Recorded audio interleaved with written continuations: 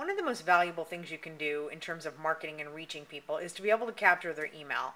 So if you can market to them for future purposes. So when you're doing that, make it easy, make it simple, and don't ask for a lifelong commitment because I am not ready to marry you for heaven's sakes. I go to this website, I want to learn more about it, and I don't see an easy button like here, I'll give you my email. I'm I'm coming forward with that information. So I go to this register button and I click on that. And good lord, you would think I was like a bride going to the registry. They want 87 pieces of my data. Well, I'm not ready to share that much information. Like, again, I don't want to get married.